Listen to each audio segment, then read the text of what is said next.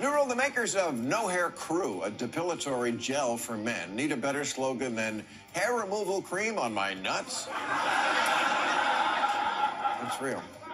Yeah, it's like it's like if the it's like if the slogan for Ex-Lax was "I shit you not."